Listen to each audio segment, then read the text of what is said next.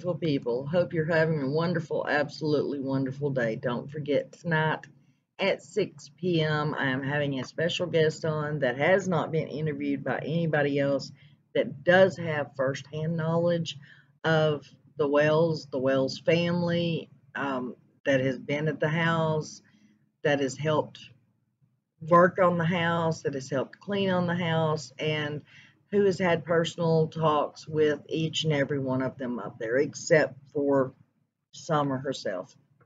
Um, I hope you all join me this evening. It is bound to be interesting, that's for sure. And I will remind everybody no bashing of no one. No one.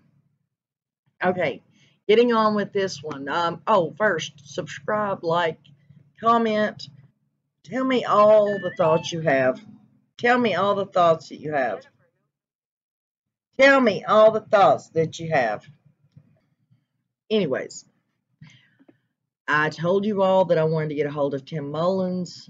Um, I did the best I could. I finally found an email for him. I emailed him, and this is what I emailed him.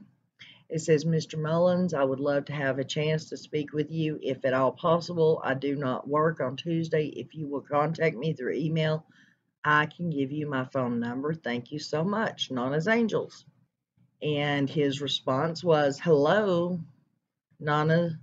You may email your questions here and I will take a look. Thank you, Tim. And then when I emailed the questions to him, I tagged this on the end of it. It says, As you can see, I'm not accusing or attacking. I simply am asking general questions people are wondering. I have a few more but so that you can understand where I'm coming from, I thought I would start with just a few. Thank you for your time. And no, I didn't read off the questions because they come next. Right here they are. That was just a little tag note that I put on there. It says, um, first, first off, can we start with the rumor that you may be Don Wells' stepbrother? Tim says, not related in any form, except we both love God. Of course, we've never done a DNA test at Ancestry.com, so who knows? Tim, I'm sorry to tell you, DNA ain't going to tell you if you're stepbrother or not. I know you're a smart man, so I shouldn't have to tell you that, but anyways, it says, I asked, did Don sign over the property to you until his release date? He said, you mean his land, house? No. Question number three, if you are the manager or the media manager, why have you never done a news interview about the case? He says, that's not what media managers do. Spokespersons might, though I may be forced into it at some point about the about the onslaught they have experienced, as well as what other families have experienced with missing children, but I refuse to talk about the case or the privacy of the family. It is their American right to be protected. Then I said, and who pays your salary? Is it the Wells or pro bono? He says, no money is involved, or will be. Question number five. Can you name any other clients you have helped or had in the past? He says, that's not how it works. I have worked with all aspects of media my whole life. I know the industry. I did not want to deal with the YouTubians, though. They distracted in improper ways. I had to focus on the professionals and still do. And no, I am not writing a book or making a movie, but the YouTubians need to respect law enforcement and the TBI's settlement statement, sorry, statement. And many need to take how to be a decent human classes. Wow, strong statement there. They have no grasp of what the damage they have done to other citizens. There are some strong forces studying the social media folks, though. Stay in those TBI parameters and you'll be fine, Nana. But YouTube money is the name of the game, so look in the mirror every day. Always consider the effect on all humans as well as the Wells children when they read or watch what you share. One person was pushed into a seizure. Then there is Jose who died. And yes, they were pushing the Wells to the diving board of self destruction. Thank God there were a few people helping them not throw in the towel. And some creators continue to be relentless as they plot their next attack in the near future. Next question is a two part question. And it says, Did you name did you name the official channel and page for the Wells? And if so, why call it Don Wells family instead of just the Wells family? His answer was, because he is the head of the family and I work directly with Don. I said, okay, why does Candus say she doesn't want any involvement, you to be involved in the case or the family any longer? His response was, I do not talk about another man's wife, especially when he is in jail. That goes for YouTube creators also. If they are married, that is improper. I will always stand up for Candus and no, I'm not hiding any secret info concerning the case and thus covering for the Wells. Tim Mullins. And this was my answer to him because, as I said, I had more questions.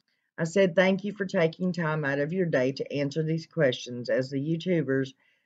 As for YouTubers, how they have handled the case, as they say, it takes all kinds. As for me, I'm sure I have said a few things people take offense to, but for the most part, I really try not to bash anyone for anything that I have not seen with my own eyes. As for others, there are only a few I will even watch anymore because of all the bull BS that is being created by others just for the views. Do not get me wrong, I am monetized, but I won't sell my soul for money. If it is wrong, it is wrong, and what I think is wrong may not be the same to you, but that is a private combo between me and God, no one else. I hope I did not offend you and would hope I might be able to ask a few more questions at a later date.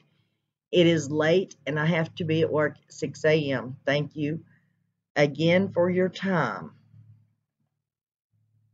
And his response to that was, You did not offend me, Myra. Hope your day has gone very well, Tim.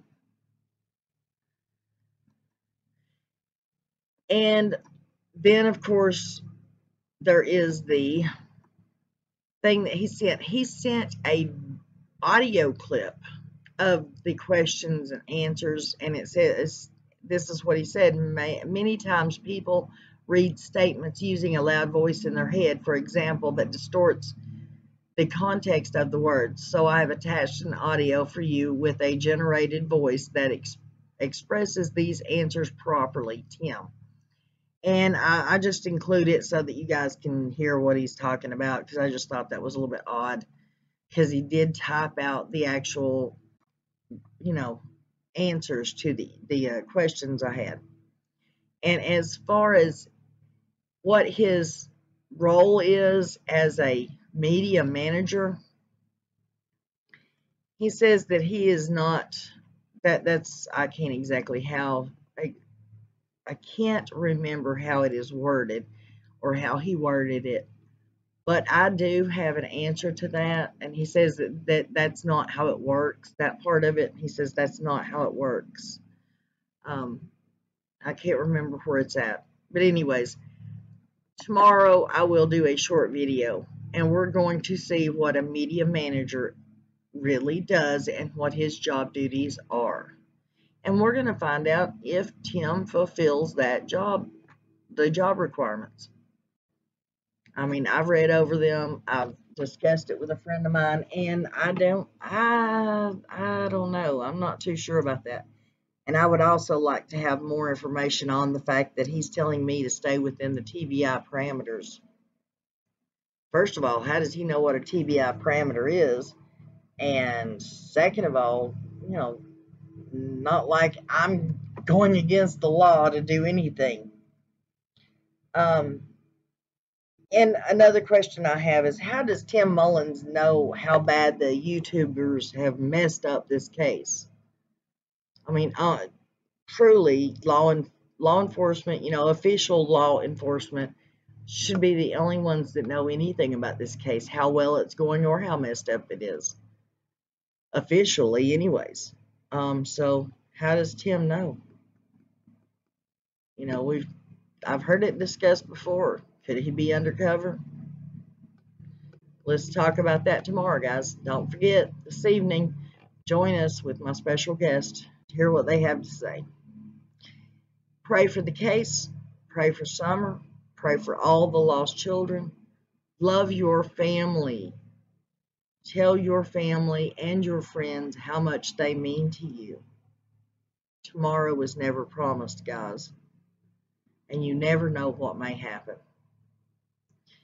Until tomorrow, or until tonight, actually, I bid you farewell.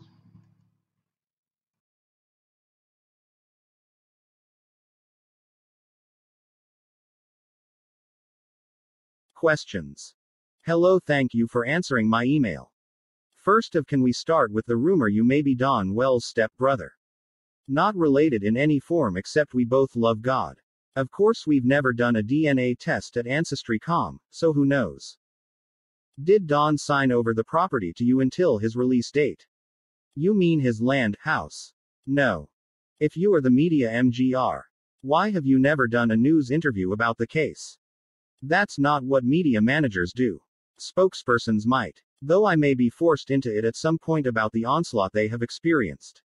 As well as what other families have experienced with missing children. But I refuse to talk about the case or the privacy of the family. It is their American right to be protected. And who pays your salary? Is it the Wells or pro bono? No money is involved or will be. Can you name other clients you have had in the past? That's not how it works. I have worked with all aspects of media my whole life. I know the industries. I did not want to deal with the YouTubians though. They distracted in improper ways. I had to focus on the professionals, and still do. And no, I'm not writing a book or making a movie. But the YouTubians need to respect law enforcement and the TBI's statement. And many need to take how to be a decent human classes. They have no grasp of the damage they have done to other citizens. There are some strong forces studying the social media folks though. Stay in those TBI perimeters and you'll do fine, Myra. But YouTube money is the name of the game. So look in the mirror every day. Always consider the affect on all humans as well as the Wells children when they read or watch what you share. One person was pushed into a seizure.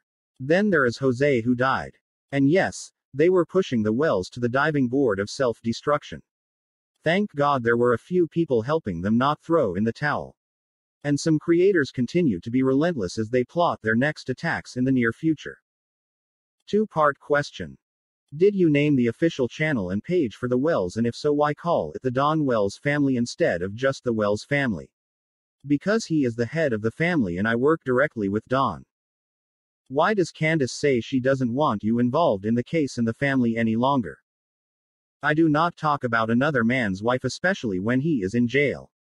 That goes for YouTube creators also if they are married. That is improper. I will always stand up for Candus. And no, I'm not hiding any secret info concerning the case and thus covering for the Wells. Tim.